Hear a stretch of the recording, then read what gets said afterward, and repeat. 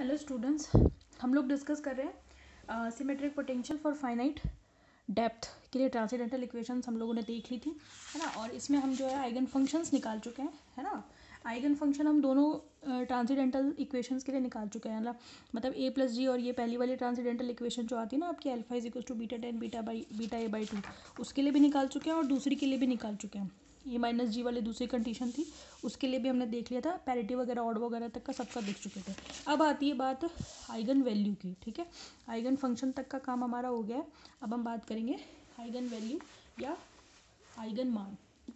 तो नेक्स्ट हमारा जो है इसी में आइगन वैल्यू या आप इसे एनर्जी आइगन वैल्यू भी कह सकते हैं। ऊर्जा आइगन मान, ठीक है? चलो तो बिल्कुल भाई, तरीका वही रहेगा। जैसे हमने पहले निकाला था तो हम लिखेंगे, हम किसमें निकालते हैं? रीज़न सेकंड में निकालते हैं। रीज़न सेकंड में जो हमारा डेप्थ है पार्टिकल की, वो नेगेटिवली है।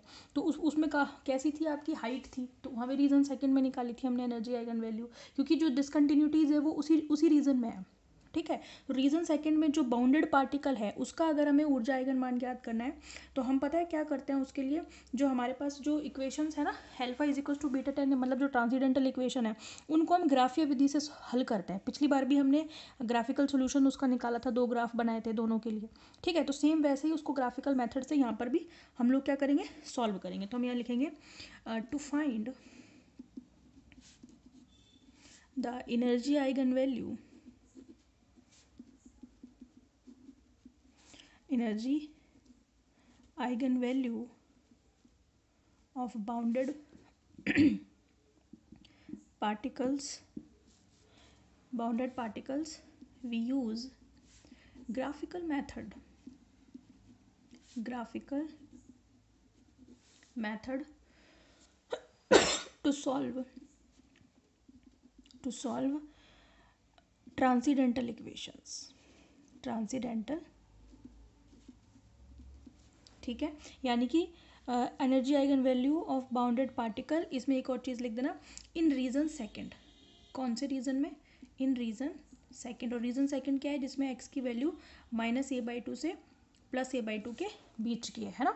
तो उस रीजन में अगर हमें एनर्जी आइगन वैल्यू चाहिए तो ट्रांसीडेंटल इक्वेशन को क्या किया जाता है? ग्राफिकल मेथड से सॉल्व किया जाता है, ठीक है? उसके लिए हम क्या करते हैं? उसके लिए हम x is equals to beta a by two और y is equals to capital alpha a by two रखते हैं। याद है ना आपको? ठीक है? For this we put capital X is equals to beta a by two और capital Y is equals to alpha a by two याद होगा आपको? और ये ये जो दोनों क्वांटिटीज़ हैं, ये विमाहीन राशियाँ हैं। ये आप याद रखें डायमेंशन लेस क्वांटिटीज़ हैं दोनों ही। चाहे तो आप चेक कर लेना। डायमेंशन लेस क्वांटिटी दोनों नियतांक हैं। विमाहीन हैं ये दोनों ही, ठीक है? तो देखें, क्या करते हैं हम उसके लिए? ट्रांसीडेंटल इक्वेशन क्या है? एल्फा इज़ इक्वल टू कितना है हमारे पास? Beta tan beta a by two right फिर हम क्या करते हैं दोनों साइड ए बाई टू से? मल्टीप्लाई करते हैं, ठीक है? इधर भी और इधर भी। एल्फा ए बाई टू से इधर alpha a by two a by two से इधर। तो एल्फा ए बाई टू इधर आ जाएगा और इधर कितना हो जाएगा? बीटा ए बाई टू से मल्टीप्लाई कर दिया हमने और टेन क्या आ जाएगा? Beta a by two. तो ये इक्वेशन किसमें कन्वर्ट होती है? जो एल्फा ए बाई टू है, उसकी जगह पर अपन वाई रख सकते हैं। और जो बीटा ए बाई टू है, उसकी जगह पर हम क्या रख सकते हैं? एक्स रख सकते हैं। तो और ये टेन और ये भी क्या हो गया? बीटा ए बाई टू भी एक्स हो गया। तो ये हमारे पास पहली इक्वेशन ये किसके लिए आती है? फॉर ईवन स्टेट याद है आपको? वहाँ भी ऐसा ही था। ईवन स्टेट ये किसके लिए आती है? सम अवस्थाओं के लिए। ठीक है? फिर हम क्या करते हैं? सेम ऐसे ही। ये तो हो गई पहली दूसरी, ये तो फ़र्स्ट ट्रांसीडेंटल इक्वेशन है। दूसरी ट्रांसीडेंटल इक्वेशन क्या है हमारे पास? Alpha is equal to minus beta cot beta a by two यही तो है दूसरी ट्रांसीडेंटल इक्वेशन या अबीजीय समीकरण जिसको आप बोलते हो। फिर से हम ए बाई टू से दोनों साइड मल्टीप्लाई करेंगे तो इधर क्या आ जाएगा? एल्फा ए बाई टू इधर क्या आ जाएगा? Minus beta a by two और साथ में cot beta a by two सही है? फिर ये जो एल्फा ए बाई टू है, इसको हम फिर से एक्स इसको हम क्या लिखेंगे? वाई लिखेंगे और इसको क्या लिखेंगे? एक्स लिखेंगे और इसको क्या लिखेंगे? कॉट एक्स तो ये दूसरी इक्वेशन आ गई। ये किसके लिए आ गई? फॉर ऑड स्टेट्स और अगर आपको याद होगा तो हमने दोनों का, अब, अभी रुको रुको, अभी बताती हूँ। इसके बाद हमने क्या किया था? Alpha square plus beta square की वैल्यू निकाली थी। ठीक है? यानी कि दोनों जो capital X square plus capital Y square निकालो ज़रा कितना आएगा। Capital X square plus capital Y square कितना आएगा? Beta square, a square by four plus alpha square, a square by four. तो ये कितना हो गया? मतलब alpha square plus beta square, a square by four. है ना? पहले भी किया था, सेम चल रहा है हमारा अब तक। जो alpha square plus beta alpha की वैल्यू यहाँ पर अलग है। ध्यान रखना एल्फा बीटा वहाँ लगते हैं यहाँ ऑब्वियसली बताया केसेस तो डिफरेंट है ना।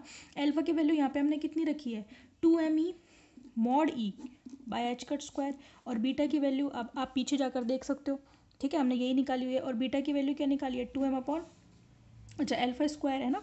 और बीटा स्क्वायर की value two m by h cut square और v naught minus mod e ठीक है? मैंने बोला था ये काम आएँगे, आपको ध्यान भी रखना है। ये दोनों वैल्यू हमने निकाल निकाल रखी है। ये दोनों वैल्यू हम उठाकर कहाँ रखेंगे? यहाँ रखेंगे। तो हमारे पास क्या आ जाएगा? Therefore x square plus y square कितना हो जाएगा? Alpha square plus beta square देखो ना alpha square plus beta square दोनों को सम करोगे जब आप तो ये two m mod e by h cut square और two m minus mod e by h cut square तो कैंसिल हो ही जाना है। ऑब्वियस ही बात है। तो आपके पास क्या बचेगा? आपके पास बचेगा हाँ देखो, लिख देती हूँ, चलो एक स्टेप बढ़ा देंगे। टू एम है ना अपॉन एच कट स्क्वायर और साथ में ए स्क्वायर बाय फोर अब क्या क्या कट जाएगा? क्या क्या कट जाएगा भाई आपका? और साथ में वी नॉट भी तो है। वी नॉट है ना? क्या क्या कट जाएगा? देखो, दो दूनी चार, ये कट जाएगा। तो क्या मिलेगा आपको यहाँ से? आपको मिलेगा m v naught a square by two h cut square ऐसी ही कुछ वैल्यू वहाँ पर भी आई थी। तो इसको बोलते हैं हम गामा। तो हमारे पास क्या आ जाता है? Therefore x square plus y square is equal to gamma square ये किसकी इक्वेशन है? ये एक सर्कल की इक्वेशन आती है। याद है? वहाँ पे भी किया था हमने ऐसा। ठीक है? तो हम क्या करते हैं? हम कैसे ईवन स्टेट और ऑड स्टेट के लिए अलग अलग ग्राफ बनाते हैं?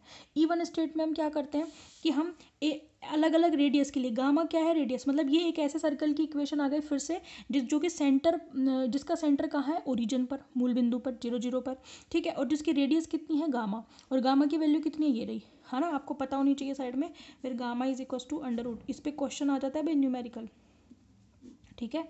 तो ये सारी चीज़ें जो बताती जाती हूँ, उनको, उन पर आप विशेष ध्यान रखा करो। ठीक है? Two h cuts square. ठीक है? अब आप मेरी बात सुनो ध्यान से। तो ये जो गामा है वो रेडियस है। हमने क्या किया था? हमने अलग अलग रेडियस के लिए, gamma is equal to one two three इन सभी के लिए डिफरेंट डिफरेंट रेडियस के लिए हमने सर्कल बनाए थे। और उन सर्कल को हमने प्रतिच्छेद कराया था। जब सम स्टेट का बनाना है ईवन स्टेट का तो ईवन स्टेट के साथ जहाँ जहाँ प्रतिच्छेद करेंगे, वहाँ वहाँ आइगन वैल्यू मिल गई थी। तो वो आइगन वैल्यूज़ किसके लिए हो गई? सम अवस्थाओं के लिए। फिर हमने क्या किया? दूसरा ग्राफ बनाया था। वहाँ पर हमने फिर से डिफरेंट डिफरेंट रेडियस के लिए ग्राफ खींचे थे और उसका प्रतिच्छेदन देखा था दूसरे वाले के साथ, यानी कि फॉर ऑड स्टेट के लिए। तो वहाँ पर ऑड स्टेट के लिए आइगन वैल्यू आ गई थी। किया था ना हमने ये काम? तो सेम काम हम यहाँ पे करेंगे। समझ में आ गई? पहले इसको बता देती हूँ मैं, है ना? नंबर कितना डालें? पच्चीस तक हो गई थी, है ना? तो इसको डाल दो आप। छब्बीस, है ना? इसको डाल दो आप। सत्ताईस। और इसको डाल दो आप। अट्ठाईस। ठीक है? तो हम कैसे लिखेंगे? इक्वेशन कौन सी? Twenty eight represents an equation of circle that is centered at origin centered at origin and its radius is, and its radius is gamma यानी कि एक ऐसे व्रत को बताता है जो कि ओरिजिन यानी कि मूल बिंदु पर केंद्रित है और जिसकी जो त्रिज्या है वो कितनी है? कितनी है भाई? गामा और गामा की वैल्यू हम लोगों को पता है। तो हम क्या करते हैं? ग्राफ खींचते हैं, है ना? तो हम क्या लिखेंगे? To find the energy eigen value energy eigen values of bounded particles, of bounded particles we plot a graph. We plot a graph in which intersection of, Hindi में बता दूँगी, अभी लिख लो पहले। Intersection of x square plus y square is equal to gamma square and x is equal to y नहीं y is equal to x tan x ये किसके लिए? फॉर इवन स्टेट्स ठीक है? Intersection of x square plus y square is equal to gamma square and y is equal to x tan x ठीक है? और यानी कि या या तो इंटरसेक्शन इन दोनों का देखेंगे, या फिर x square plus y square is equal to gamma square and y is equal to minus का x cot x for odd states in which intersection ठीक है? State represents the eigen value in both states यानी कि odd के लिए भी और even के लिए भी। हिंदी में सुनो अब। तो हमने क्या बोला? ये समझ में आ गया, यहाँ तक कोई दिक्कत नहीं है। फिर क्या लिखोगे आप? कि परिबद्ध कणों की ऊर्जा आइगन मान ज्ञात करने के लिए हम एक ग्राफ खींचते हैं या एक वक्र बनाते हैं या खींचते हैं, जिसमें किस किस का प्रतिच्छेदन बिंदु x square plus y square is equal to gamma square और इस सम अवस्थाओं का जो ग्राफ है, उसका जो प्रतिच्छेदन बिंदु है, या फिर दूसरा ग्राफ किसका बनेगा? इस व्रत का और ये विषम अवस्थाओं के ग्राफ का प्रतिच्छेदन बिंदु। किसको बताता है? एनर्जी आइगन वैल्यू या फिर किसको? ऊर्जा आइगन मान को दोनों अवस्थाओं में प्रदर्शित करता है।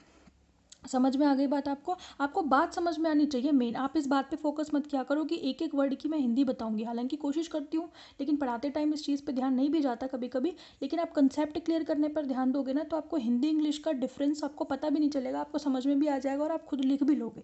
तो फोकस मत किया करो बार बार इस बात पर कि हर वर्ड की हिंदी बताई जाए। आपको बात समझ में आ रही है, आप उसको हिंदी में अपनी लैंग्वेज में भी लिख सकते हो। समझ में आ गई? तो बेसिकली मेरा काम क्या है? मुझे दो ग्राफ बनाने हैं। ठीक है? एक बनेगा इवन स्टेट के लिए और एक बनेगा ऑड स्टेट के लिए। पहले भी बनाया, कोई नई चीज़ नहीं है। ठीक है? तो ये चलो, इधर रख लिया मैंने। इधर रख लिया मैंने ऑड स्टेट के लिए। एक तरफ़ रख लेंगे इवन स्टेट के लिए। तो ग्राफ कैसे बनेंगे? पता है आप सभी को अलग अलग डिफरेंट डिफरेंट रेडियस के लिए बनाएँगे। तो मैंने यहाँ पर ले लिया यहाँ पे मैंने क्या ले लिया? ज़ीरो अलग अलग पॉइंट्स मेंशन कर देते हैं। यहाँ पर वन है ना? इधर टू ऐसे इधर थ्री इधर फोर ऐसे ही यहाँ पर भी मैंने वन टू थ्री और फोर समझ में आ गई? फिर मैंने क्या करना है? ग्राफ ग्राफ खींचना है। ठीक है? देखो तो ज़रा, पहले रेडियस कितनी है? Gamma is equal to one के लिए ऐसा ग्राफ बनेगा। Gamma is equal to one का। फिर गामा इज़ इक्वल टू किसके लिए? टू के लिए। फिर हमने किसके लिए देखा था? हम एक्चुअली आप यूँ सोच रहे कि है ना मैडम ने वो वाला क्यों लिया? बता भी दिया था वैसे मैंने, वहाँ पे भी बताया था। दूसरा हम खींचते हैं gamma is equal to two root three के लिए। याद है? जो दो से बड़ा है, ठीक है? तीन से भी, तीन से भी बड़ी आ जाती है बल्कि उसकी वैल्यू तो। ठीक है? दूसरा ग्राफ हमने किसके लिए खींचा था? दो हो गया। ठीक है? वो प्रतिच्छेदन दिखाने के लिए, क्योंकि हम इसका प्रतिच्छेदन किसके साथ दिखाना चाहते हैं? Y is equal to x tan x के लिए, क्योंकि कभी कभी ग्राफ अगर मैं, मान लो तीन के लिए बना भी देती हूँ है ना? लेकिन वो उस जगह पर प्रतिच्छेद नहीं करेगा और वो लिमिट से बाहर हो जाएगा। तो ग्राफ में शो करने के लिए हमने तीन डिफरेंट डिफरेंट रेडियस ली थी। एक is gamma is equal to one एक gamma is equal to two और एक गामा इज़ इक्वल टू ली थी हमने टू रूट थ्री है ना? इसको सही बनाना। समझ में आ गई बात आपको? ठीक है। अब देखो, आप मेरी बात सुनो। नहीं, रुको रुको रुको। इस अच्छा वहाँ पे हमने जो ग्राफ खींचे थे, वो किसके लिए खींचे थे? Gamma is equal to one, two two root three के लिए खींचे थे, लेकिन यहाँ पर वो इनके साथ भी इंटरसेक्टर नहीं करेगा भाई। Gamma is equal to one के लिए वन के लिए तो करेगा, ठीक है? लेकिन इस पर नहीं कर पाएगा टू पर और इस पर, है ना? तो इसमें अपन को थोड़े से चेंजेस करने पड़ेंगे। Gamma is equal to three के लिए लेंगे, ठीक है? गामा इज़ इक्वल टू, चलो मैं दूसरा बना देती हूँ, इसको रहने देना, अलग से बना देती हूँ। इसके लिए अलग अलग रेडियस पे करेंगे। तो प्रतिच्छेदन बिंदु जो है, सुविधा के लिए हम कहाँ लेते हैं? Gamma is equal to one three और फाइव पढ़ लेंगे। तो ई वन के लिए और ऑड के लिए अलग अलग बनाएँगे। ठीक है? मतलब ये ऐसे देखे हुए हैं, जैसे अपन प्रैक्टिकल करते हैं ना तो अपन क्या करते हैं कि बहुत सारी रीडिंग लेते हैं, है ना? पाँच सात दस रीडिंग लेते हैं। तो पाँच सात दस रीडिंग कोई ग्राफ में शो करना ज़रूरी नहीं होता। पाँच सात, मान लो आपने दस रीडिंग ले ली, दस में से कोई भी पाँच या छः या सात रीडिंग आप ग्राफ में शो करते हो, बाकी की नहीं करते हो, ठीक है? क्योंकि जितनी सफिशेंट है उतनी दिखा देते हो। और कई बार हम देखते हैं कि वो पॉइंट ग्राफ में मैंशन करते हैं जिनके लिए ग्राफ रिप्रेजेंट करना ईजी पड़ता है। समझ में आ गई। इसलिए, क्योंकि उन्होंने देखा होगा, ग्राफ बनाए होंगे, बहुत अलग अलग बिंदुओं पर बनाए होंगे तो जिस जगह पर सुविधा बैठ रही थी, जिस जगह पर उनको सहूलियत हो रही थी, केवल उन्हीं पॉइंट्स को उन्होंने मेंशन किया। समझ में आ गई बात? तो आप इस बात पे कंफ्यूज मत हो ना कि gamma is two one three five पर ही क्यों ले रहे हैं? वहाँ पे वन टू और टू टू थ्री के लिए क्यों लिया था? वो केवल ग्राफिकली रिप्रेजेंटेशन में हमें सुविधा हो, इसलिए अलग अलग बिंदु लिए गए हैं। समझ में आ गई? तो आपको तो बस थोड़ा सा ध्यान रखना है। तो ये गामा इज़ टू वन हो गया, इधर टू हो गया, इधर थ्री हो गया। आगे जाकर फोर। One, two, three. तो पहले हम खींचेंगे gamma is equal to one के लिए, फिर खींचेंगे अपन यहाँ पर फोर, ठीक है? फिर गामा इज़ इक्वल टू किसके लिए? थ्री के लिए। ठीक है? फिर गामा इज़ इक्वल टू आगे किसके लिए ले लेंगे अपन? फाइव के लिए। तो आगे जाकर फाइव पे यहाँ कहीं इस तरीके से ये ग्राफ आएगा, फाइव के लिए। समझ में आ गई? तो वन थ्री फाइव इन सभी के लिए अलग अलग ग्राफ आ गए। फिर ये जो, ये काटता कैसे है, वो देखो। किसके लिए कौन काटेगा? वाई इज़ इक्वल टू ये किसका ग्राफ है? Y is equal to x tan x का। समावस्थाओं के लिए खींच रहे हैं। और दूसरा ग्राफ आता है इस तरीके से। ये दोनों ही किसके ग्राफ है? Y is equal to x tan x के। समझ में आ गई? फिर किसके लिए खींचेंगे अपन? ये तो हो गया समावस्थाओं के लिए। फिर किसके लिए खींचेंगे? विषम अवस्थाओं के लिए। उसके लिए क्या खींचेंगे? ज़ीरो इधर वन इधर टू इधर थ्री इधर फोर और इधर फाइव ठीक है, ऐसे ही इधर वन टू थ्री इधर फोर है ना? और इधर आपका आ गया फाइव तो एक लो वन थ्री फाइव सही है? अब ये कैसे काटेगा? ठीक है, थोड़ा सा आप ऐसी स्ट्रक्चर थोड़ी सी ध्यान करके जाना, है ना? प्रतिच्छेदन वाला ग्राफ कैसे बनेगा? वो नहीं है आप लोगों के सिलेबस में तो ज़्यादा डिटेल में हम लोग फंसेंगे भी नहीं। ये ग्राफ किसका है? Y is equal to minus x cot x का। क्योंकि हम पढ़ रहे हैं बीएससी हम पीएचडी नहीं कर रहे, ठीक है? तो ऐसी बहुत सी बातें होंगी जो आपको डायरेक्ट भी ध्यान रखनी पड़ेगी फिजिक्स में। ऐसे बहुत से फैक्ट्स होंगे जो एक्सपेरिमेंटली हम डायरेक्ट उठाएँगे। फिर पीएचडी में क्या करेंगे? अगर बीएससी में सब कुछ यहीं कर लोगे तो ठीक है? तो ये सारी चीज़ें डिटेल में देखी जाती है पीएचडी में। ठीक है? तो ज़्यादा डिटेल में इसलिए नहीं जाते। कई बार आप सोचते होगे कि मैडम ने डायरेक्ट फैक्ट उठा लिया। तो हर चीज़ थोड़ी ना हमें देखनी है। आगे जाके एमएससी करनी है अभी तो आपको, फिर आप आगे जाओगे तो पीएचडी करोगे। तो वहाँ के लिए भी तो कुछ छोड़ोगे ना भाई? अभी से पूरे ज्ञान ही बन के जाओगे। इसलिए कुछ फैक्ट्स डायरेक्ट उठाने पड़ते हैं, ठीक है? अब देखो, जहाँ जहाँ काट रहा है, वो वो आइगन वैल्यूज़ है। ये देखो। ये देखो। इधर इधर और इधर। अब देखो at gamma is equal to one, at नहीं, for. Gamma is equal to one के लिए कितनी इवन और कितनी ऑड स्टेट मिलती है? देखो, gamma is equal to one के लिए एक तो इवन स्टेट मिली है। ठीक है, ये इवन के लिए है फॉर इवन और ये किसके लिए? फॉर ऑड ठीक है तो gamma is equal to one जो है, उसके लिए एक तो आपको इवन स्टेट मिली है। क्या gamma is equal to one पर ऑड स्टेट मिली है? क्या नहीं मिली? ठीक है, हम क्या लिखेंगे? वन इवन स्टेट केवल एक समावस्था मिलती है। ठीक है, gamma is equal to two के लिए देखो, एक इवन मिलती है और एक क्या मिलती है आपको? ऑड मिलती है। किसके लिए? Gamma is equal to two पर देखो ना। टू पर आपको एक इवन मिल रही है और एक क्या मिल रही है? अच्छा टू पर नहीं थ्री पर। ठीक है? क्या मिल रही है? One even and one odd और gamma is equal to five के लिए। क्या क्या मिलती है आपको बताओ? Gamma is equal to five के लिए। वन इवन और टू ऑड समझ में आ गई ये दो? समझ में आगे बात? तो ये आपका टॉपिक कंप्लीट हो गया नेक्स्ट में अपन शुरू करेंगे simple harmonic oscillator okay thank you